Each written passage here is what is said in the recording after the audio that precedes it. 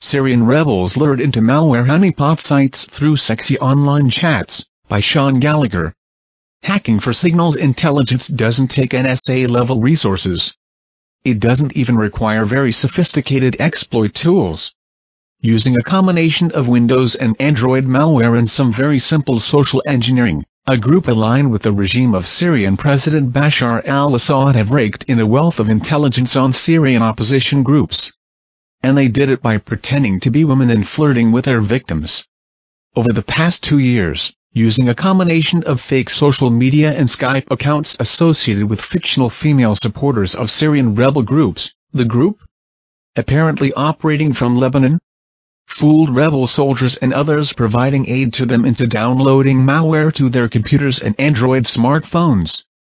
As revealed in a report published today by FireEye, PDF, the group, which may have been associated with Hezbollah, was able to harvest not just personal information on their targets, but also battle plans and other intelligence information that could have been used by Hezbollah and the Syrian government's troops to counter the opposition.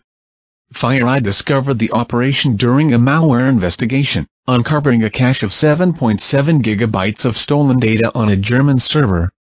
The data contains Skype databases including chat logs and contacts, as well as documents and images. In one conversation found in the logs, an attacker posed as a woman named Ayman, claiming to be a computer engineer working for a programming company in Beirut. The attacker asked for a photo of the target and then sent a picture of her own. A picture that the victim was too busy mooning over to realize it came packed with malware. The attack group created a collection of Skype, Facebook, and other social media accounts around specific false identities, using profile photos of Muslim women. Some images depicted covered heads and sunglasses, and others were less modest photos depending on the group targeted. During Skype chats, the attackers would ask the targets whether they were on Skype on their computer or on a mobile device. They would use that information to determine which set of malware to offer, one packaged for Windows or a package for Android. In addition to malicious photos, they would sometimes offer a link to an installer for another video chat software package that included malware. The Facebook profiles of the faked identities included posts and links that were supportive of the Syrian opposition, in addition to links to a fake pro-opposition website constructed with content scraped from other sites. Hot Live ISIS Chat, the fake site has one other feature that uses a play torn out of a well-worn fraudster playbook reformatted for the Islamic jihadist age. FireEye noted that it included, what appears to be a matchmaking section that covertly channels targets toward installing malware.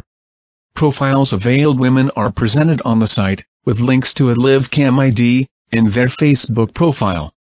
The LiveCam link prompts the download of an ooVoo software package bundled with malware. The Facebook link goes to a fake Facebook login page, which steals the victim's credentials. Information gathered by the malware dropped on targets included a set of marked-up battle plans for a coordinated 2013 attack against Assad government forces to liberate the town of Khirbet Ghazal, near the city of Deraa.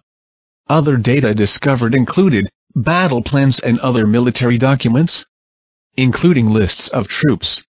The threat group took a range of military-related information and seemed to pay special attention to files that contained lists of names, FireEye reported we found dozens of lists identifying hundreds of fighters serving in armed opposition groups.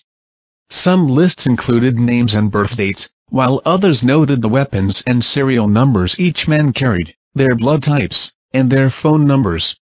Political strategy and information on alliances between rebel groups. According to FireEye's report, Skype logs provided the attackers with an inside view into the politics of the Syrian opposition, as individuals discussed coalitions, criticized people, and shifted alliances. There were also documents on opposition political parties, the structure of opposition groups, and other information on the leanings of individuals in the Syrian diaspora. Humanitarian aid documents including requests for aid and shipment and border crossing data. The personal information of people applying for refugee status in Turkey. Media releases, casualty reports, situational reports, and information on rights abuses. because the devices used by attack victims were often shared with multiple other users due to limited internet connectivity for opposition groups, fooling just one victim paid off several times over. The attackers were able to steal multiple Skype databases off the same machine. They were also able to identify other targets from contact lists. And since the attackers succeeded in targeting mobile phones, they were able to compromise real-time communications in the field, giving them insight into what was going on